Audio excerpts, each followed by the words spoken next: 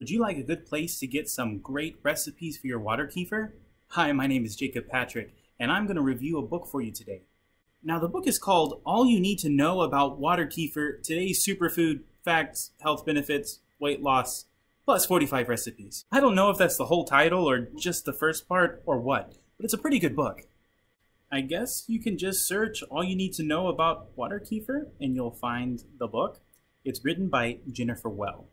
Now the core information in the book, aside from the recipes, is pretty short. It'll only take you a couple of hours to read, but you'll learn a lot about both water and milk kefir in that time.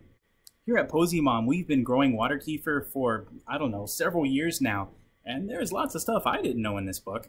There are chapters about the history of water kefir, the history of milk kefir, and also chapters about why water kefir and other probiotics are so good for you. But probably the most interesting part of the book is the part I haven't been able to fully experience yet, and that is the abundance of recipes. In future videos, we'll definitely be checking out some of those recipes and some others we've collected over the years. Uh, we'll try them out on camera, and you'll get to see if they're any good or not.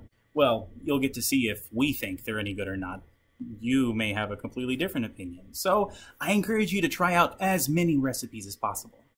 Now the book, all about water kefir, is very easy to read. It's not a scientific textbook. Some information you find out there online about different probiotics is awfully complicated and not really written for the layman. And I am definitely a layman. I don't know about you. Here at Posey Mom, at some point in the future, we do plan to make our own book, possibly a recipe book, uh, including some original recipes for water kefir and milk kefir and other probiotics. But in the meantime, this is a great book to check out. It's just a couple of books in the Kindle store. You can have it right on your cell phone and start reading it and start trying out some of those recipes.